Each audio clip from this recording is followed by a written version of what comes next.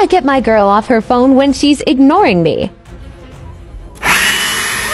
Yeah, I think it's time to put the phone down and pay attention to me.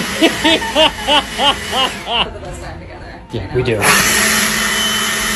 Get off the phone!